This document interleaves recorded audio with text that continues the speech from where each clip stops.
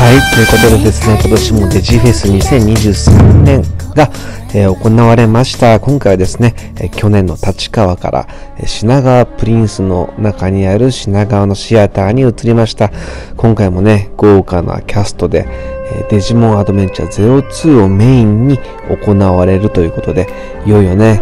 2023年10月にデジモンアドベンチャー02ザ・ビギニングが公開されるということで、それを中心とした今回催しだったんですけど、いやー、よかったですね。品川の会場もね、まあ、ちょっと個人的には立川の方が雰囲気はあったかなとは思うんですけども、まあでもね、やっぱ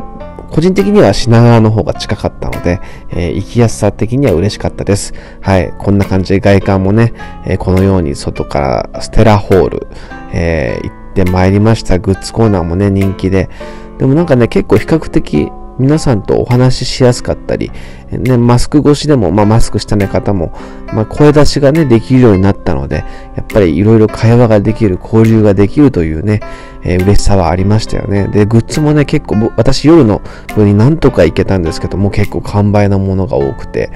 まあね、で、こうやっていろいろ、そのステージの会場内に、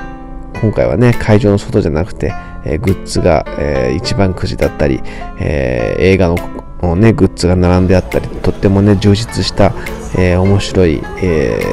中だったんですけど、まあ良かったですね。やっぱり予告編の解禁がね、やっぱまず嬉しいですよね。1年越しですもんね。去年の特報から、まあ、去年でしたよね。なんでもう、それで尾形めぐみさんが出られるということが発表されて、で、ちょっと映像がオープニングの最初の方が流れて、それから1年経って、あっという間ですよね。まあやっぱ映像のクオリティが素晴らしいですし、で、尾形めぐみさんがおっしゃってましたが、今回のデジモンは一味違うと。今までのデジモンを見ていなくても、新しく、えここからデジモンを見始める人でも楽しめる作品になってるということをね、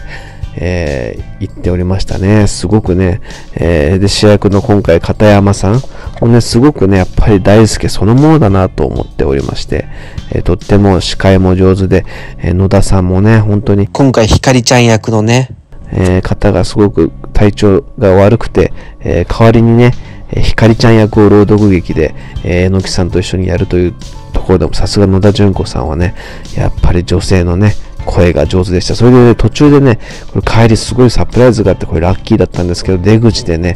なんとね、音楽プロデューサーのね、方とお会いできたんですよ。はい。太田さんと、えー写真が撮ることができました。これラッキーでしたね。で、グッズもこういう風に綺麗に並んでて本当に可愛かったです。特典もね、えー台本があったりとかいうのもあったんですけども、